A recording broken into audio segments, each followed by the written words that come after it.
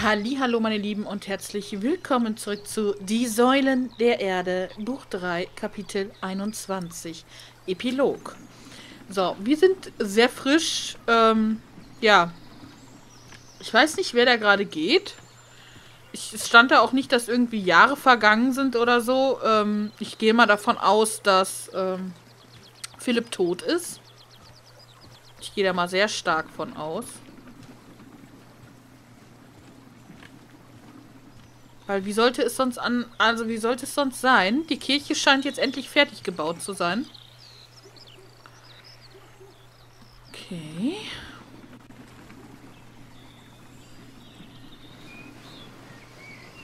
Nein! Er lebt! Philipp lebt! Oh mein Gott! Philipp lebt! Gehe nach Hause.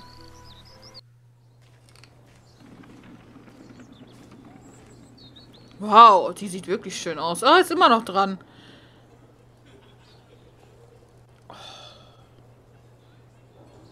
Boah. Wie groß die geworden ist, ne? Hammer. Prior? Jonathan ist Prior? Ah, Philipp. Es ist so gut, dich zu sehen. Oh, es sind Jahre Jonathan. vergangen. Wie stehen die Dinge in St. John in the Forest? Ach, er ist wieder Francis da. geht es gut. Hm. Das ist wunderbar. Ja, ihm gefällt das Leben dort. Mhm. Du wirkst besorgt, Jonathan. Nun ja, du hast einen Besucher. Er ist soeben angekommen. Ich war mir nicht sicher, ob du ihn sehen wolltest. Hm? Wer könnte das sein?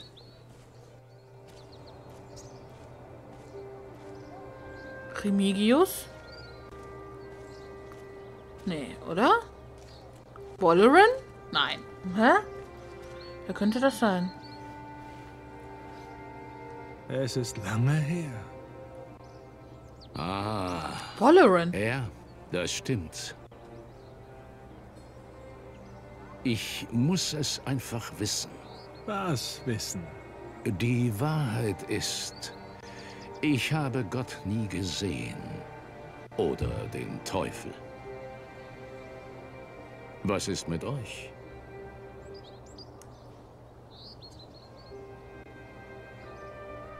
O Herr, erlöse uns von dem Übel. Bei Gott, wir müssen doch etwas tun können. Hört sofort auf! Seid ihr blind? Wisst ihr nicht, dass Feuer jeden verbrennt? Ganz gleich, wer er ist? Warum tut ihr das? Nach Walrens Worten zweifeln sie an meiner Aufrichtigkeit. Und der meines Bruders. Worte können diesen Zweifel nicht auslöschen. Gott kann es. Gott ist ein reinigendes Feuer.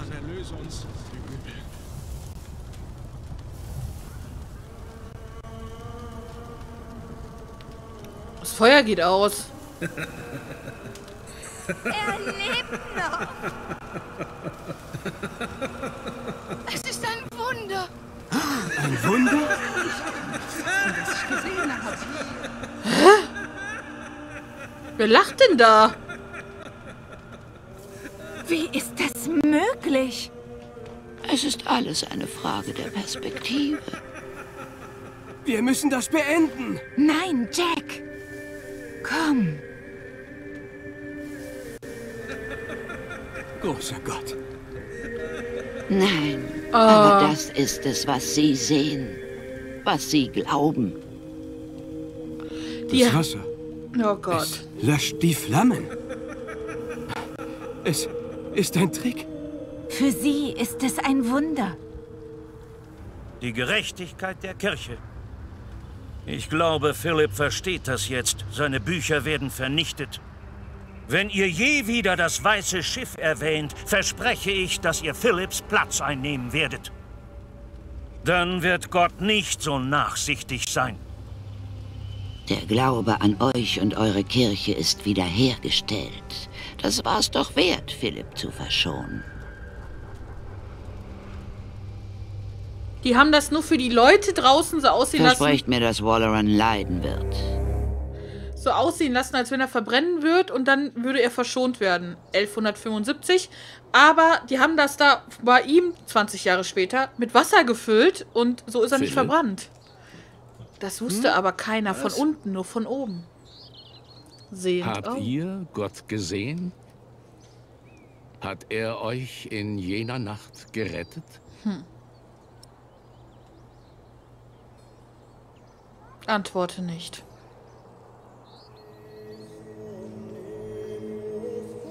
Walleran musste ihn selbst finden. Also habe ich es ihm nicht gesagt.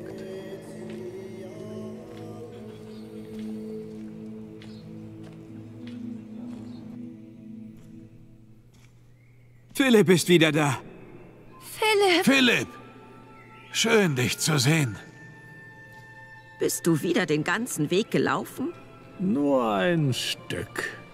Alter Narr. Alan blieb bei uns in Kingsbridge. Zusammen mit Tom. Hm. Ich dachte, ich hätte Gott verloren, dass er nicht über uns wacht. Aber jetzt sehe ich ihn jeden Tag. Er ist in dem Guten, das wir tun. Darin, wie wir unsere Liebe zeigen.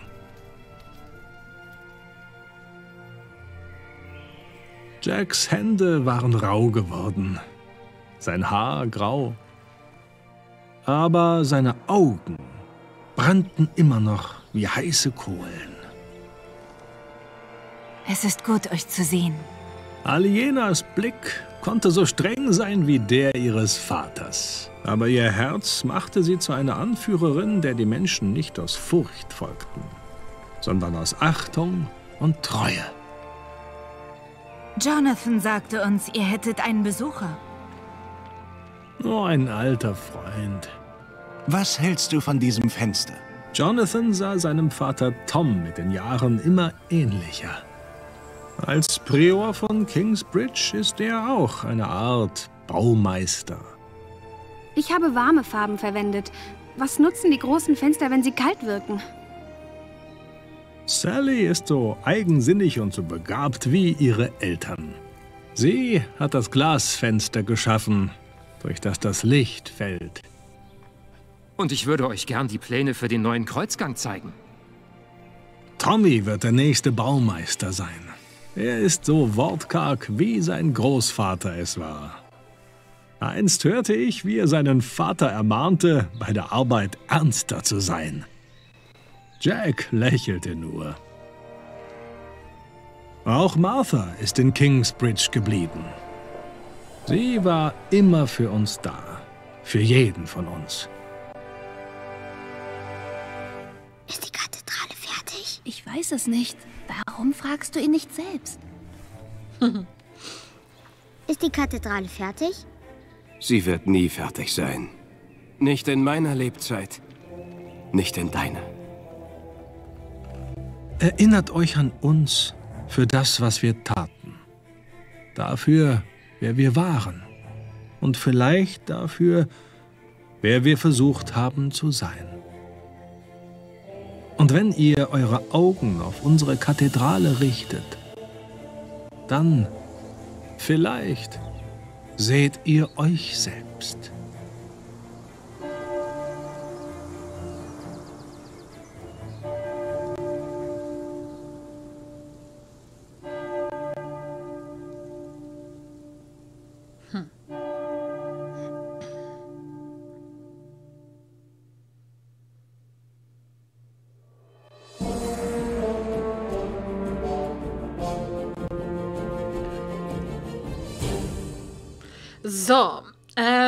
Säulen der Erde im Auge des Sturms, Kapitel 21, Epilog, was du getan hast. Du hast Wallerins Frage über Gott nicht beantwortet. Du hast die Säulen der Erde durchgespielt. So.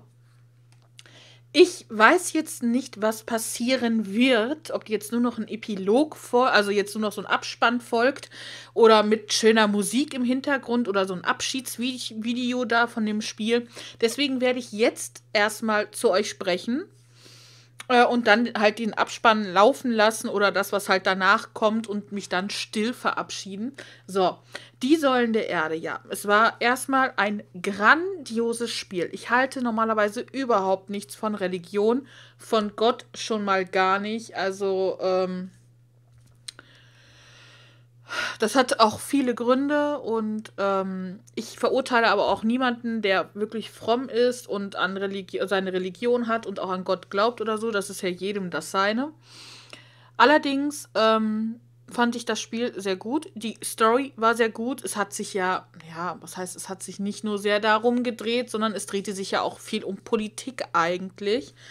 Ähm, das Spiel kommt äh, den Film ich sag jetzt Film.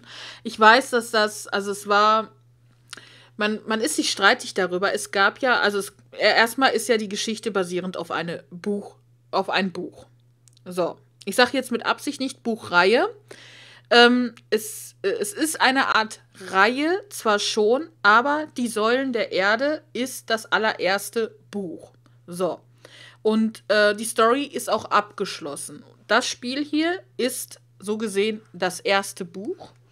Ich ähm, werde mal eben kurz das Internet aufmachen, sonst kriege ich das alles nicht mehr so zusammen. So. So, ähm, der Roman ist ja von Ken Follett. Ich hoffe, ich habe es richtig ausgesprochen. So, und der erste Band war Die Säulen der Erde. Eine abgeschlossene Geschichte, die dieses Spiel beinhaltet und auch der Film.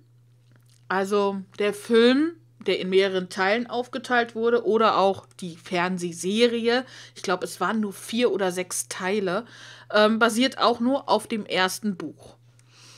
Ähm, er hat danach ähm, noch andere äh, äh, Bücher geschrieben, und zwar ähm, die äh, Tore der Welt und auch ähm, das Fundament der Ewigkeit und noch viele andere.